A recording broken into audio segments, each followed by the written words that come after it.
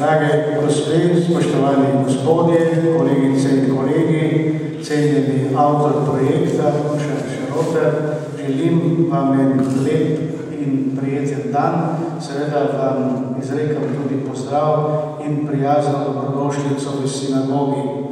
Ko sem pred eh, 11 leti, tako rekoč, eh, prišel do obnovljene sinagoge z skoraj dvo in pol kilogramskim ključem, seveda so bili občutki precej eh, čudni in ko sem se srečal z prvimi obiskovalci tega obnovljenega prostora, je med njimi bila tudi že pokojna Marlena Humek, ki je med drugim zelo preprosto rekla, poskušajte eh, vdihniti temu prostoru spet njegovo dušo. To mi je na nek način ostalo v podzavesti in vse skozi sem se z mojimi sodelavci, sodelavkami trudil, da bi dejansko sinagoga zaživela v polnem sijaju, programsko gledano in da bi ta prostor dobil dušo. Mislim, da nam je to uspelo in krona vsega tega je pa tudi projekt z tem pomenljivim naslovom duše, ki smo ga v kontekstu Evropske prestolnice kulture uvrstili v naš letni program. Naj povem, da je projekt izjemno odmeven med strokovno javnostjo in tudi med obiskovalci, da smo deležili različnih komentarjev, predvsem pozitivnih, da gre za bistvo, kot je dejal že kolega Duško, drobno zadevo na videz, v bistvu pa kar za velik programski zalogaj, ki dobiva krono z današnjim simpozijem ali srečanjem, kakorkoli že ga poimenujemo. Vesel sem, da ste v tako lepem številu napolnili znova ta prostor sinagoge in da ste eh, s tem dali tudi svoje vrstno priznanje našemu avtorju Dušanu Šeroterju in seveda vsem, ki smo se, ki se okoli tega trudili. Moja naloga je na nek način ta, da poskušam zelo na kratko povzeti, kako je bilo z dušami, na rekovajih rečeno, v tej sinagogi skozi recimo sedem stoletij. Če upoštevamo dejstvo, da v bistvu Jude v Mariboru srečamo že konec 13. stoletja, po nekaterih najnovejših odkritjih in ocenah, pa so prve slavne judovske naselbine na območju današnje Slovenije bile že v 11. stoletju. V glavnem pa Jude srečujemo pri nas od 12. stoletja dalje, vzporedno z nastankom meščanskih naselij. Na Slovenskem je bila najmočnejša in najvplivnejša prav judovska naseljina v Mariboru in Maribor je bil tudi središče slovenskega judovstva, sinagoga pa nekaj časa celo občasni sedež vrhovnega rabinata za Štajersko, Koroško in Kralsko. Mariborska srednjeveška judovska skupnost je bila zgledno organizirana, o tem pričajo mnogi dokumenti, o tem smo že veliko govorili, središče tega dogajanja pa je bila sinagoga, zgradba v današnji židovski ulici, ki je edini in najpomembnejši ostanek srednjeveške judovske dediščine na Slovenskem in ena najstarejših ohranjenih sinagog v srednji Evropi, kar ji seveda daje posebno mesto in poseben pomen. Treba je povedati naslednje. Zgradba sinagoge je bila dokaj preprosta in ni pretirano izstopala iz okolja srednjeveškega mesta. Judovsko svetišče je bilo torej preprosto in majhno, čeprav je spadalo k najvažnejšim v deželi. Zgradba Mariborske sinagoge je bila v listinah izpričana in vsebinsko definirana stavba v srednjeveški judovski četrti ali tudi geto mesta Maribor. Zaradi svojih gabaritov je bila že v svojem času izjemna stavba v kontekstu drobne bivalne arhitekture. Po končanju obnove v 90. letih minulega stoletja je bila nekdanja sinagoga 1. aprila 2001 odprta za javnost. Mesto Maribor je torej 505 let po izgonu judov v Novič na stežaj odprlo vrata nekdanje sinagoge, ki je bila, kot že rečeno, versko, kulturno, duhovno središče cvetoče srednjeveške judovske skupnosti in hkrati središče takratnega slovenskega judovstva. Bila je na nek način duša mariborskega in slovenskega srednjeveškega judovstva, bila je del in identitete tega mesta. Po izgonu judov v letih 1496-1497 je preživela vse čase in vse vladarje, dokler ni bila leta 2001 po končali obnovi predana v uporabo kot kulturni in muzejski center z novim poslanstvom in novo dušo. Judovska kabala pravi, da je duša sestavljena iz treh elementov in na to eh, seveda smo postavili tudi del vsebinske platforme eh, sinagoge. Sinagoga v mesto v Dravi torej znova živi. Ohranila je dušo, ohranila je historične izročile in pomen, dobila je nove kulturne in civilizacijske nastavke ter vsebine, jo iz leta v leto bogatijo. Zdaj vanjo prihajajo duše, duše, ki jih je iz melankolične prekmurske ravnice, iz jutrenih medlic, dežele Štorkel, poslal umetnik dušen Šarota. Mar so to duše tisti, ki so morali v tragediji največjega genocida v zgodovini človeštva na silo končati življenja. Duše vseh tistih razčlovečenih, ponižanih in razžaljenih, ki so z milijoni drugih končali v krematoriji zloglasnih tovarn smrti samo zato, ker so bili drugačni, ker so bili judije. Šarotar projekt lahko razumemo tudi tako in njegove tavajoče prekmorske duše so dobile v naši sinagogi varen in miren dom. Stopile so v stik z dušami onih, ki so se vrnili v spomin in zgodovino našega mesta, katerega podobo so sooblikovali in ga umestili na evropski kulturni, gospodarski in civilizacijski zemljevid že pred sedmimi stoletji.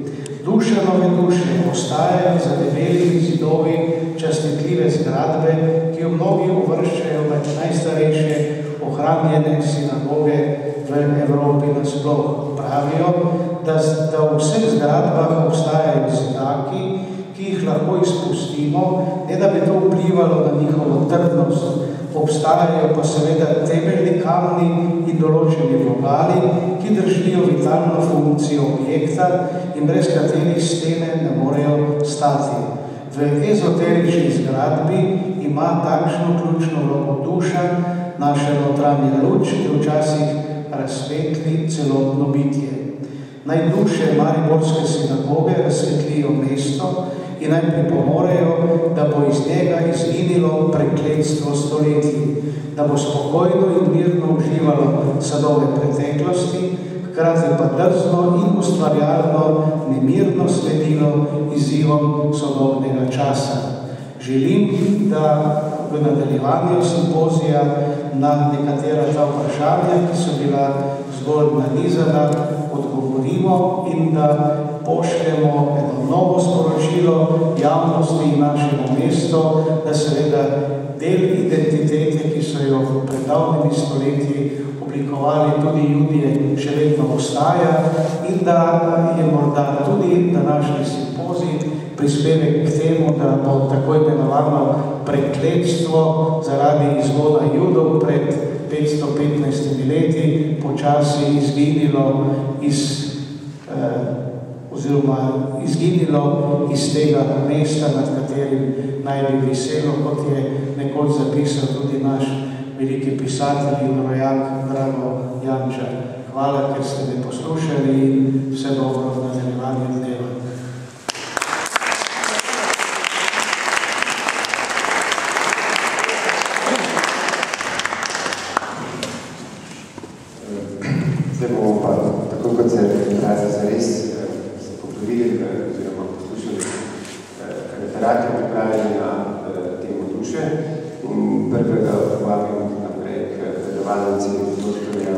Marka Uršiča, profesorja. Posebej sem vesel tega, njegov referat je pa duša in osebna identiteta. Izvolite.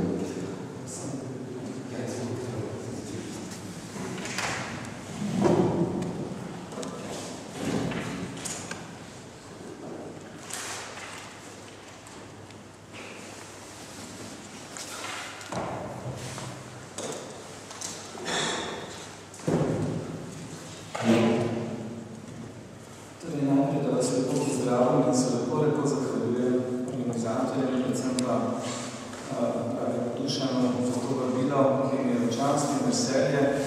In moram reči, večkrat sem bil že v Mariboru, tudi govoril v različnih prostorih v Mariboru, v tem drugem pravem slovenskem mestu. Ne bi lahko rekel, Slovenija ima samo dve pravi mesti, pravzaprav Ljubljana in Maribor. In moram reči, da noben od prostorov, v katerem sem govoril, ni bil tako, um, tako lep, tako plemenit, kot je ta. Ne, In prvi sem tukaj nekaj v bistvu ostrmel sem nad to notranjostjo in tudi zelo lepo so fotografije, ki jih vidimo, videl sem jih že v samem katalogu. Uh, zdaj so pa tudi tukaj v stenah. Um, moj današnji referat prispevek, kot vidite, ima naslov duša in osebna identiteta. Če sem prav razumel organizatorje, imamo približno pol ure, ne? 30 minut, jaz sem bom poskušal držati tega časa, čeprav je seveda zelo težko v tem tako omejenem času povedati nekaj teh stvari, ki bi vam rad povedal. Um, če bo kakšna minuta več, mi ne boste preveč zamerili. No, jaz sem si ta svoj prispevek um, zamislil v dveh delih. Prvi uvodni, glede na to, da sem po pač, našem gostitelju, pravzaprav prvi govorc, uh, kar mi je včas tudi bolj pripisujem to sami filozofiji kot sebi, zato ker filozofija ne bi bila nekak na začetku. Uh, no, uh, glede na to, da sem prvi govorc, sem prvi del, se pravi recimo četrt ure, bom namenil zelo, zelo kratki zgodovini duše. Uh, to ne pomeni panoramskega pogleda, ampak na nekaj citatih uh, bom skušal nekoliko uh, pač priklicati nam, kaj so stari narodi, stari modrci, naši, pre, naši duhovni predniki uh, pač uh, rekli o duši. V drugem delu uh, bi pa potem prišel k, k temi, ki je pač um, nakratko naznačena v samem povzetku, se pravi duša in osebna identiteta sodobnega stališča.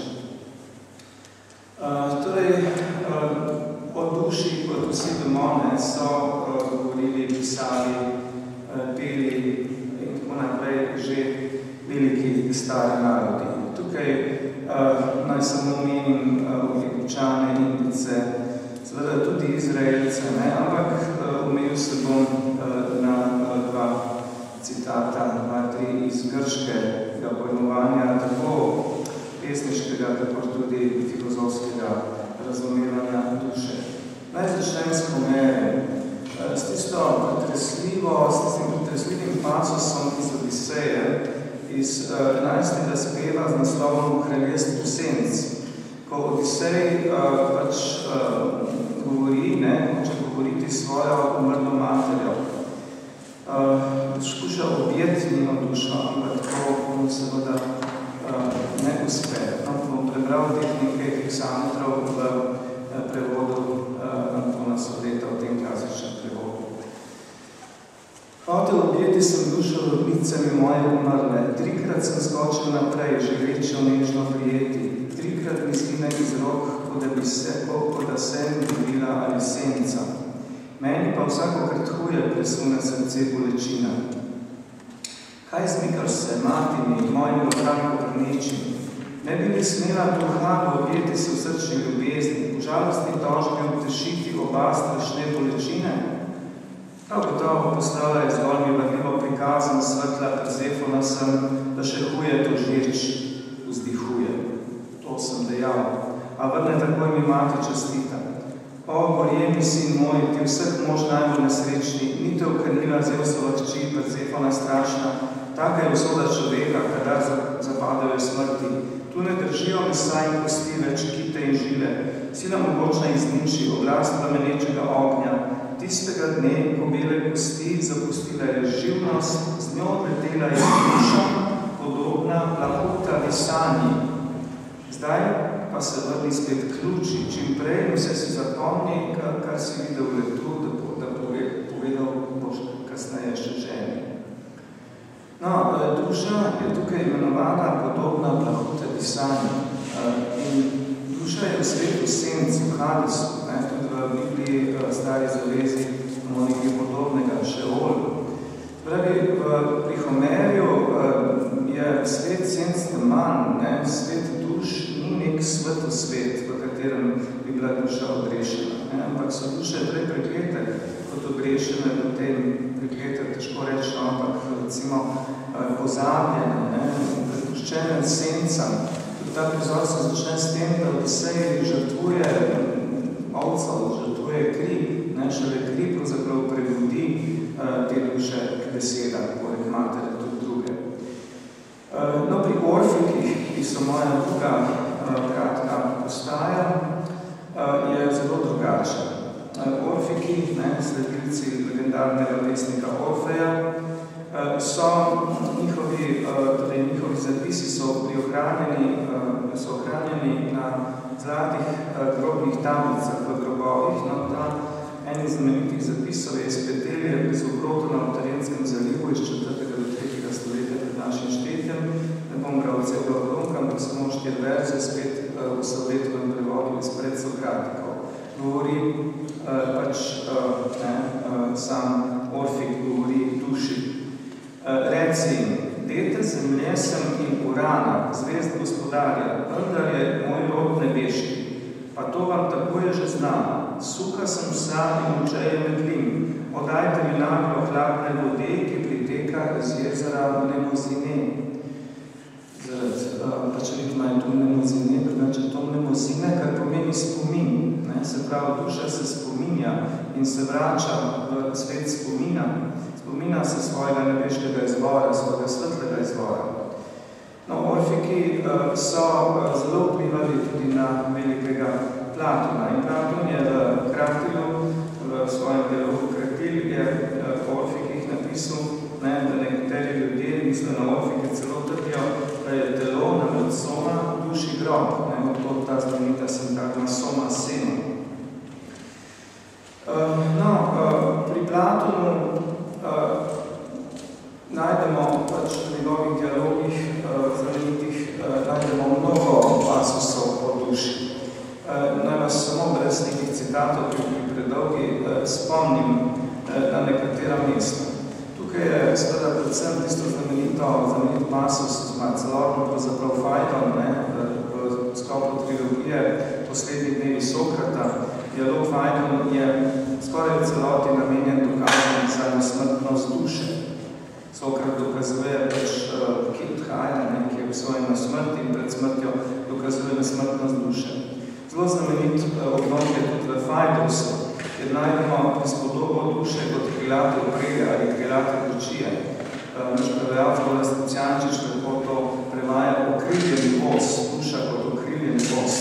Potem imamo v zadnji knjigi, deseti knjigi Politeje države, ne, imamo znamenito v bistvu mit ne, o Eru, ki se vrne iz onstranstva in tukaj imamo pač neke vrste bi lahko rekli reinkarnacijo, oziroma kot se rekli, Arkimedan psihozo duše. No, predvsem pa bi opozoril zvezi s Platonom na njegov pozni dialog Timaj. To je njegov kozmološki dialog, kjer nastopa vesolna duša. Duša pri Platonu in tudi v nadaljnem platonizmu ni samo individualna duša posameznega človeka, ampak je vesolna duša. Poznaj bi timo rekli anima mundi v latinščini. In vesolna duša je pravzaprav tudi tisto, kar je prvo ustvarjeno, kar demiurg ali stvarnik, pa najprej ustvari vesolno dušo, ne, in potem šele materialni svet. Vrnili se bomo v platonizmu, pri Plotinu, naj povem še dva, tri stavke o Aristotelu. Aristotel je v svoji znameniti razpravi Perit Sihes o duši, ki je prevedena tudi v slovenščino, prevedovanje Pingalan, je razlikoval tri vrste duše. Ne? Vegetativno, se pravi rastlinsko, senzitivno, živalsko in racionalno oziroma človeško dušo. No, vendar tako za Platona kot za Aristotela, pravzaprav duša je nekaj, kljub vsemu, da je zelo svetla, da biva, ne, je nekaj sorazmerno abstraktnega. Nikjer ne najdemo za Aristotela pravzaprav manj, ne, on tu govori o raznih sposobnostih duše, ampak pri Platonu pravzaprav nikjer ne najdemo uh, bolj konkretno, kaj misli s tem, kaj je pravzaprav, kaj je pravzaprav duša, kaj vsega. Ne. Predvsem, kaj je tisti spomin, Platon dosti govori o spominu, pravzaprav o spominjanju kot anamnezis, ne, to je ta slavni metafizični spomin Platonov. Po drugi strani pa zelo malo pove o tem, kaj se pravzaprav ohranja v duši, v tem cikliranju skozi življenje in smrti, ne? kateri spomini se ohranjajo in tako naprej. No, o tem mnogo več pove novo platonik, utemeljite novo platonizma Plotin. Plotin, jaz sem tukaj pripravil, nisem vedel, da bo tudi tale pač PowerPoint, ampak to bi samo še nekaj minut vzelo. Pripravil sem tudi, koga je pozanimalo, si lahko vzame potem tukaj nekaj kopij, nekaj pač odlomkov iz Plotina in iz pleki 6-7, verjetno se lahko prezentirati.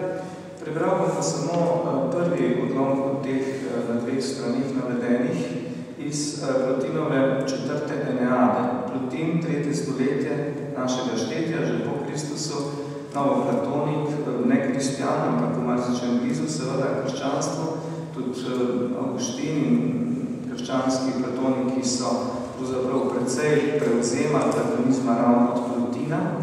No, Plotin v četrti Eneadi na dolgo govori o aporijah duše, se pravi o vprašanjih, o aporija pomeni težava, pomeni neka zagata, paradoks, če hočete, ne, duše. No, in v enem zelo znamenitem pasusu, četrta Eneada 3.9,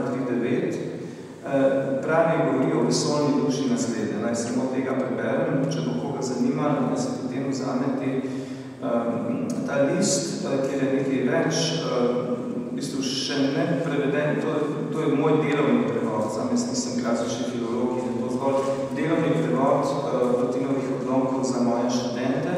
Naj pa z veseljem naznanim, da bo recimo v dveh letih, da bo velik izbor izanjati šel po slovenski matici v prevodu filolog in Sonja Vajc. No, aporijah duše pravi takole odlomek. Vesolje leži v duši, ki ga nosi, vesolje kozmos, ne, ki ga nosi in ničesar ni brez deleža duše. Vesolje je, kakor da bi bila živa mreža potopljena v gotovine, vendar nezmožna prisvojiti si tisto, v čemer je. Morje je že razprostranjeno in mreža se razprostira z njim, koliko daleč zmore, kajti noben njenih delov ne more biti nikjer drugje kot tam, kjer leži. In narava duše je tako velika, velika tudi ravno zato, ker nima velikosti, tako da vsebuje celotno telo, namreč celotno vesolje. Osnovno vesolje v enem samem objemu, ne, to je zanimivo, duša objema vesolje. Duša nekje v vesolju, ampak duša objema vesolje. Vesoljna duša. Kamorkoli se razteza telo, tam je duša. Če telo ne bi obstajalo, to ne bi pomenilo za dušo glede velikosti nobene razlike, kajti, kajti ona je, kar je. Vesolje se razteza tako daleč, koliko daleč gre duša. Njegova meja razsežnosti je točka, do katere ima dušo, da ga vzdržuje v bivanju. Se pravi, nenavadnost stališča moderne, pač moderne, mislim, novoveške misli, ne, je ravno to, da pravzaprav mi običajno imamo predstavo seveda samo o človeški individualni duši, mogoče tudi duši više razvitih živali, ne, vendar je, tako imamo neko predstavo, da duša je v telesu, nekje, rečemo, kje je, ne, Descartes, recimo, je zelo precizno lociral v endokrino železo češarino, enkrat on vemo, da ni čisto tako. Ne, ampak, če rečemo, kje sem, kje je moja duša, ne, zdaj zanimivo je, da nekako dušo lociramo v neko območje, običajno v glavi, se pravi, ne očmi, kje sem jaz, ne, jaz sem iz tiste točke, tako da vidim, tako da tudi slišim in tako naprej. Je pa zanimivo, da doskrat rečemo, kdo sem jaz, ne, da pokažemo pravzaprav na srce, ne, jaz sem ta, jaz sem to, ne. Pravi, ta lokacija je seveda problem, ne, ampak koliko sploh dan danes še govorimo o duši, zmeraj manj, ne, to žal. No, ampak Plotin je te stvari razumel drugačne. Plotin je razumel, telo je v duši. Ne? Duša telo zaobsega in sicer tako vesolna kot posamezna človeška duša. No, Plotin se je zelo ukvarjal, kot sem že prej malo omenil, tudi s problemom spomina. Ne? Kaj se pravzaprav ohrani po smrti? Ne? In tukaj je spomin uh, razumel na dva različna, pravzaprav in tudi komplementarna sicer načina. Kot anamnezis in kot mneme. Anamnezis ali spominjanje je nek metafizičen spomin, ne, tisti ta spomin morfični, tudi spomin duše na svetlavo, na tisti svet svetli, ki ga je pozabila v rojstvu in ki se ga znova spomni po smrti. Mneme je pa naš, recimo, da tako rečemo, psihološki spomin, da se spominjamo na včerajšnji dan, da se spominjamo na svoje otroštvo in podobno. No in tukaj so zelo zanimivi odlomki, kaj se pravzaprav ne, onstran, če tako rečemo, ne, ohrani. Ampak mora biti naprej rečeno, če pa ga zanima, ti odlomki so tudi uh, na razpolago sicer na moji spletni strani za študente, se pravi, tipkate moje ime v neki skanci, potem je prva, uh, prvi je spletna stran. Uh, no, v duši najdemo precej tudi v, uh, v, tako seveda v Bibliji, ne, uh, novi zavezi, tudi že v starih, kot v hrifnih tekstih. Včasih sem se nekoliko več ukvarjal s tem, predvsem z rokopisi najdenimi leta 1945 pri kraju Nag Hamadi v Egiptu, ne, v teh Nag Hamadih rokopisih. In seveda tudi v drugih teh, recimo ezoteričnih vedenih, v korpusu hermetikumu, v kabali, ne, kot je bilo prej, tudi kot je prej že omenil dr. Toš.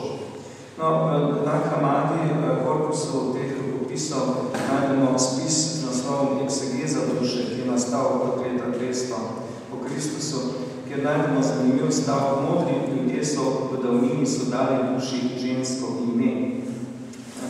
Tu gre za vzpon, oziroma za padec najprej in vzpon duše, za to kroženje, za ta krog duše. Ne? In uh, nekak vrhunc tega vzpona se imenuje posto ezoteriki, nebeška poroka. Ne samo ezoteriki, seveda ta izraz je tudi povezan zelo močno z uh, kanonično visoko pesmijo v Bibliji. No, ne bi govoril ni časa, pa tudi nisem verjetno uh, najbolj poklican, da bi govoril o duši pri Augustinu in Tomažu Akvinskem, pri dveh stebrih pač katoliške oziroma krščanske srednjeveške filozofije, zgodnje pozne skolastike. Vsekakor nastopa izraz anima, ne, nastopa uh, mnogokrat v delih tako Augustina kot Akvinskega, anima uh, in seveda spiritus, ne, spiritus, ki je duh ali um intelektus, ne, kje so zdaj te razlike. Zdaj, tukaj so različna pač poimenovanja, ampak lahko bi nekako grobom rekli, da je duh je živi um, ne, se pravi, spiritus je intelektus, ki živi in ki tudi ljubi, ne, ki ima tudi neko pač, nek ekstatičen odnos do sveta, če rečemo tako. No, mogoče bi se sam za hip ustavil pri Danteju, pri vizualizaciji Beatričine duše uh, v božanski komediji, Beatriče, kot veste, ne, nastopi uh, v koncu uh, vic, ne, potem v, uh, potem v ne, vice in raj, predvsem raj se zaprav premalo prebere, največ preberemo krv, ne, to je zanimivo, ampak uh, mislim, raj je zelo, zelo, seveda čudovita, čudovita resnitev, ne. No, mogoče samo par vercov v prevodu Andreja Cekudra. Beatriče je tukaj pač seveda, pa en stran je to, uh, kot bi poznaj rekel Jung, Gustav Jung, ki je to Dantejeva anima, ne. Drugi stran je to svetleče bitje, duša, ki je, ki je, ki je bitje, ki je neka figura, ki, ki vodi svetla, svetla postava, če hočete, ne. Uh, ki pa ni identična z angeli, ne, ki so seveda višji od, tudi od teh svetlečih duš v raju. Uh, takole je v verziji 30 izpev raja, 25-33 se glasijo takole v prevodno Andreja Caputra. Kot sonce vid zasleplja, ki trepeče, tak mi podoba sladkega nasmeha, če spomnim se, duha stemo prevleče. Odkar mi je lice ni bilo vdeha, je prvič, pa do tega zdaj pogleda, pri slabi nje sem svest si bil uspeha, zdaj čutim pa, da peša mi beseda o nje nadzemsko lepoto slika, kot pesniku, ki višek svoj pogleda. No, nasploh v krščanski, veliki krščanski tradiciji svetnega veka in tudi, ki se nadaljuje tudi v renesansi, seveda in še meri tudi v novi, novi vek, ne, nastopa duša, kot, če rečemo metaforično, kot nek čovnič, kot nek čovnič, ki pelje človeka oziroma samo sebe, človeško dušo prek reke smrti. Ne. Telo propade, duša, ne, seveda tisti čovn je Haron grob, ne, ampak duša je tisto, kar naj bi pač človeka popeljalo uh, iz stranstva v onstranstvo.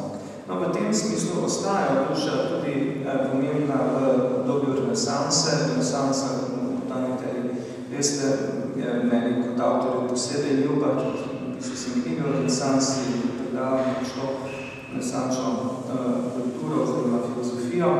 No in naj se samo za hip ustavim pri uh, znamenitem renesančnem filozofu Marsilio Ficino iz konca Patricenta, se pravi 15.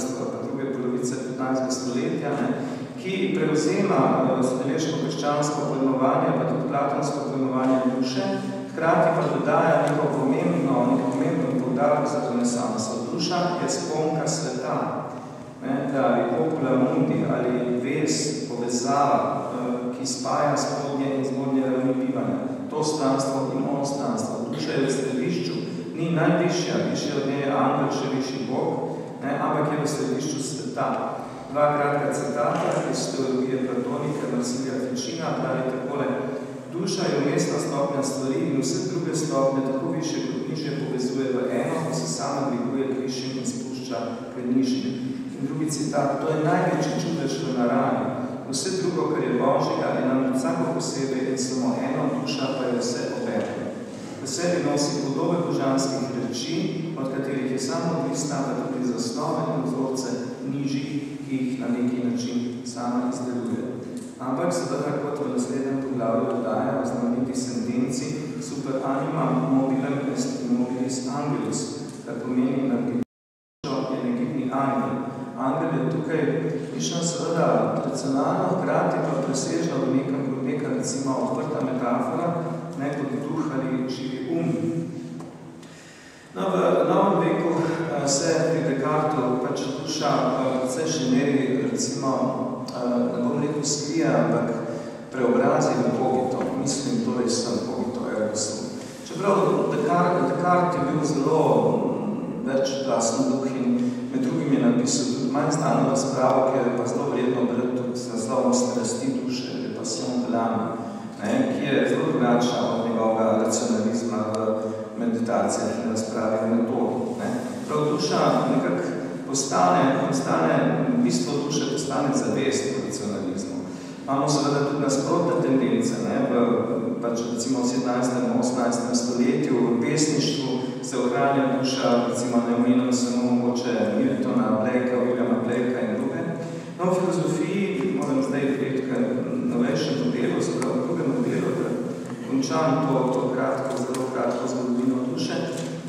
Kant, ne, veliki Immanuel Kant v svojem kritičnem obdobju, se pravi kritiki čistega uma, proglasi idejo o nesmrtnosti duše za tako imenovani paralogizem čistega uma. Se pravi, za neko zgolj umsko idejo, ki je onstran vsega možnega izkustva in kot takšna nedosegljiva.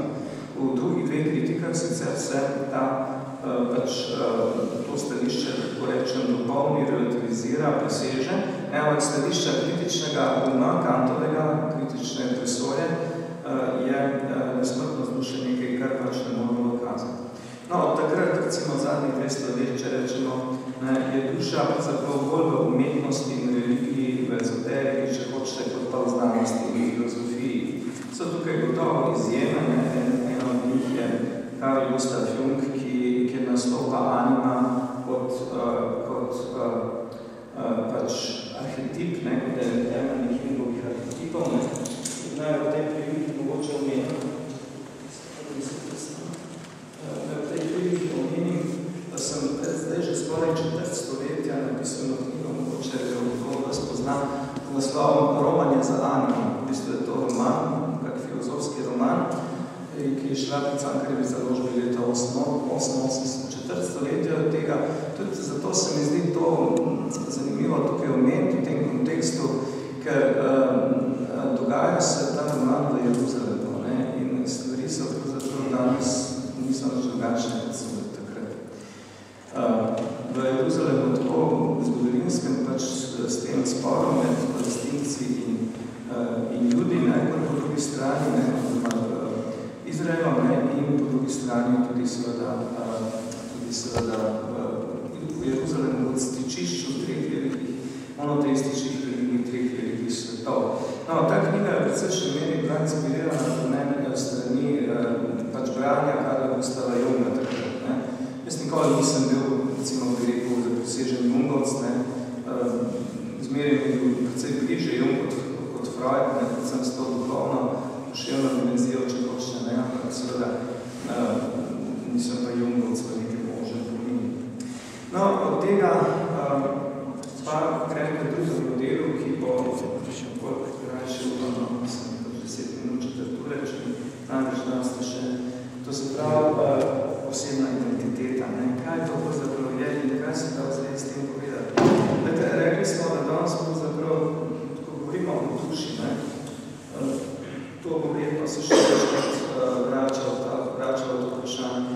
Ne? Kaj s tem pravzaprav sploh mislimo? Dobro, če nekako razumemo, ne?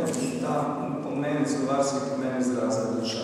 Tudi dobro razumemo, ko pesnik govori o duši. Ne? Mislim, pesniki, kot je, ali pa pisatelji, kot je, kot je duša, ali pa kot sem v veliki meri tudi jaz, čeprav sem tudi seveda težno filozof, ne? nekako govorimo in pišemo o duši, ne? ampak kaj je pravzaprav duša? Ne? Da en od aspektov uh, duše je to uh, vprašanje ali pa ta, uh, ta problem, kaj pravzaprav naša osebna identiteta v filozofskem pomenu. Tu ni recimo identiteta mišljena niti kot kulturna identiteta, niti kot recimo formalna državna identiteta nekoga državljanska, ampak kot osebna identiteta v nekem globokem pomenu, ne, v angliščini je to personal identity, ne, to je eno od temeljnih vprašanj, vprašanj pravzaprav sodobne filozofije, ne, tudi predvsem te imenovane širše analitične filozofije anglosaškega uh, kulturnega kroga, ne, tudi evropskega, kaj je pravzaprav osebna identiteta, ali pa če drugače postavljamo to vprašanje, kaj tvori, kaj zagotavlja človekovo osebno identiteto skozi čas. Nenehno se spreminjamo, mi tudi vemo, da pač vse naše celice se obnovijo v času. Kaj je tisto, kar je recimo podlaga lastnemu imenu? Ne? Kaj je tisto, kar je označeno z recimo lastnim Kaj je kdo? Koga označuje to lastno ime? Kdo sem jaz? Ne? Sem duša? Ne? In tukaj bi bilo seveda tudi vprašanje na mesto sem telo, ne? ampak v tem pogledu verjetno vsi nekak smo nagnjeni k odgovoru sem duša. Ne? Ampak kaj pa je duša? Ne? Zdaj tukaj je treba seveda razlikovati v novoveških kontekstih duša od duševnosti.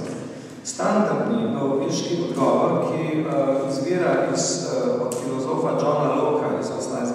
stoletja, Angleža, je to, uh, da je uh, pač temelj osebne identitete psihološka kontinuiteta duševnosti. Psihološka kontinuiteta duševnosti, namreč tudi če ni neke metafizično, recimo, pojmovane nesmrtne duše v kratinskem Spravo, Locke je sicer empirik, ne, on je tudi kristjan, ne, pač samo času primerno in tako, ampak on se nekako distancira vprašanja, ali obstaja res neka duša kot neka metafizična entiteta ali pa religiozna ali kakorkoli, ampak pravi, da osebna, da osebna identiteta človeka se zagotavlja oziroma je utemeljena na neki psihološki kontinuiteti duševnosti. Tudi ali morda predvsem spominom. Spomin je ključen, ne? Spomin, to dimenzijo spomina sem navajal že pri že pri Plotinu, ne, Prav, ne samo nek zgodovinski spomin, seveda tudi osebni spomin. Tukaj gre pri osebni identiteti posameznega človeka, posamezne duše, gre za kontinuiteto osebnih spominov. Ne. No, in tukaj pa prehajam k uh, avtorju, ki me je zadnja leta predvsej pritegnil. ki je sorazmerno neznan, to je oxfordski filozof, še živeči Derek Parfit, ima to bolj švedsko ime, ampak je angliški filozof. Derek Parfit, poučuje na Pravni univerzi v Oxfordu. No in Derek Parfit je svojim znamenitim delom, žal še ne prevedenim v slovenščino, naslovom razlogi in posebe, je pravzaprav postavil nekak neko temeljno, neko temeljno vprašanje, kaj je tisto, kar res velja, kaj je tisto, kar res šteje, kaj je tisto, kar preživi, kar preživi smrt in kar je tudi podlaga moje kontinuitete življenja. No, uh, Derek Parfit, uh, jaz imam tudi nekaj teh fotokopij in pa, uh, pa uh, listov uh, njegovih iz uh, njegovih citatov, nekaj bom navedel zdaj od koncev se torej sprašuje, kje je meja moje duševnosti. Če je kontinuiteta duševnosti pač tista, ki je podlaga moje osebne uh, identitete, tega, da rečem, jaz sem jaz, sem jaz ne? Uh, in, to, in to tudi na nek način želim v tem globokem smislu ostati, ne? vseh nas je to, da pač je neka odsejena, neka želja po neki kontinuiteti. Ne? Alfitovo vprašanje je, kje je meja moje duševnosti? A je to moje individualno življenje? Eh, Parfit prav, treba iskati to meja širše, dlje, ni samo individualno življenje, meja moje osebne identitete, ampak je osebna identiteta širša. Uh, to je seveda, uh, kako bi rekel, širša sega v druge duše, v moje druge other selves v angliščini, sega v moje druge jaze. No in to je seveda s tem je tesno povezana tudi tesno povezano vprašanje, um, kdo ali kaj um, preživi telesno smrt. Um, ker pač zelo dobro vemo, kako smo minljivi, ne? kako je sprejetje minljivosti pravzaprav težko. Distancialisti so pač govorili, da ravno sprejetje minljivosti, ne?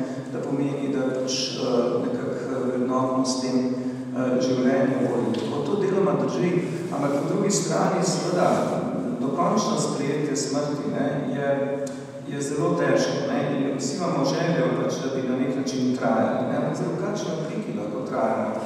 Ker uh, to, da bi pač uh, ne, kristijani verjamejo, da tudi mogoče ne prav vsi, ne, ampak glavno naj bi, ne, tradicionalno vsaj verjeli, da duša po smrti preživi telo, ne, da potem uh, sojena v koncu času in da je potem v nebesih oziroma v pekru, ne, ali pa ulica, ta srednja možnost eh, katoliška dopušča, ne, nekaj časa.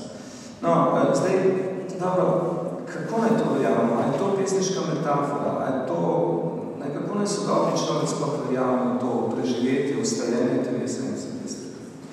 Uh, vsem ni nam to dano, ne, pač nekaterim bolj drugim manj, to je odvisno do zvoje od človeške osebne zgodovine. No, Parfit tukaj govori o tem, uh, ne, da je um, preživetje smrti pravzaprav preživetje mojih drugih. Uh, gre za neko temeljno vprašanje, ali moj jaz, ne, tista osebna identiteta, s katero se zdaj pač uh, recimo identificiram, ki pomeni, če rečem, kdo sem jaz, ne, govorim, jaz sem ta in ta, s tem in temi spomini, s to in to, s tem in temi značajem, in tako naprej, v tem tej podobi. Ne? Ali moj jaz, torej, to vprašanje, ki ga postavlja Patrick, ali moj jaz lahko preživi v več, v dveh ali več prihodnih jazih. Ne samo v bioloških potomcih, tu ni mišljeno samo, eh, samo otroci, neposredni biološki potomci, ampak so ti prihodni jazi, drugi jazi, mišljeni mnogo širše. No in Patrick tukaj odgovarja, da, ne? In zakaj? Zato, ker ravno ta kontinuiteta, ne, ta povezanost mene in drugih jazov je pravzaprav edino, pravi, kar zdaj šteje. Prebral bom nekaj odlomkov uh, iz uh, njegovega kratkega dela, najprej osebna identiteta, to je prevedeno v slovenščino v reviji Analiza. Uh, delo, razprava pravzaprav iz leta 1971, ne, že 40 let od tega, Uh, ki, s katero je Patrick pravzaprav zaslovel v filozofskih krogih s tem vprašanjem osebne identitete. No, to delce, razprava, v dolžini recimo 30 približno strani, je prevedena v filozofski revi analiza bila prevedena leta 2001. No, par kratkih citatov. Prvi citat. Alternativa namreč običajnemu pojmovanju posebnega preživetja, ki jo bom zagovarjal, pravi Barfit, je v tem, da se odpovemo jeziku identitete. Predlagal bi, da jaz preživim kot dva različna človeka. Tukaj bi lahko dodali kot dva ali več ne, različnih ljudi, iz česar pa ne sledi, da jaz tudi sem ta dva človeka. Tu je sintaksa zelo nenavadna za naše pojme, ampak zato, ker išče neko novo vsebino Parfit pravi, da se nam samo zdi, ker smo pač tako navadni misliti, predvsem v okviru zahodne kulture, ne, zahodne civilizacije, da je preživetje jaza, preživetje mene, ekvivalentno ohranitvi moje osebne identitete. Drugi citat. Vprašanje, ali bom preživel, se zdi, kot sem dejal, ekvivalentno vprašanje, ali bo živa neka oseba, ki je ista oseba kot jaz. V nasprotju s tem ustaljenim, predvsem kot rečeno v zahodni kulturi, eh, mnenjem pa Patrick pravi, da je zares pomembno za preživetje naslednje, eh, tretji citat. Da relacija izvorne osebe do vsake od nastalih, to je na novo rojenih oseb, vsebuje vse, kar nas zanima, vse, kar velja, all that matters, v vsakem običajnem primeru preživetja. Zato potrebujemo smisel, v katerem lahko ena oseba preživi kot dve ali kot več, kot mnogo oseb. No, ta stališča so da takrat, ko jih je prvič zapisal, žal posebna identiteta zelo nenavadna in tudi slabo razumljena. Na začetku, čeprav že od vsega začetka je se sprožila pač zelo pač, močno polemiko okrog tega. Zato je potem poznaj leta 84 bolj pač razvil v Derek Parfit v knjigi Razlogi in osebe, Reasons and Persons, odkud bom tudi prebral nekaj štiri kratke odlomke. Prvi odlomek, prvi citat. Mi smo posamezni ljudje, particular people. Jaz imam svoje življenje, ti imaš svojega. Kaj sledi iz teh dejstev? Kaj me naredi isto osebo skozi vse moje življenje, obenem pa osebo, ki je različna od tvoje? In kaj pomeni teh dejstev? Kaj pomeni enotnosti vsakega življenja in v čem je razlika med različnimi življenji, med različnimi osebami? Ta vprašanja so glavni predmet te knjige. Drugi kratek citat. Tisto, kar zares velja, namreč pri preživetju mojega pravega jaza, tega širšega jaza ali duše, lahko mi dodali, sta psihološka povezanost, v angliščini connectedness in kontinuiteta. Tretji citat. Še vedno je razlika med mojim življenjem in življenjem drugih ljudi.